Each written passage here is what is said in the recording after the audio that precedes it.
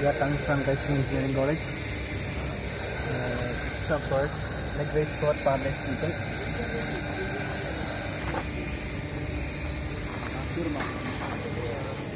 The common you use as a uh, hand controller, a catching hose, and the pneumatic cylinder, and the wheels for the transportation.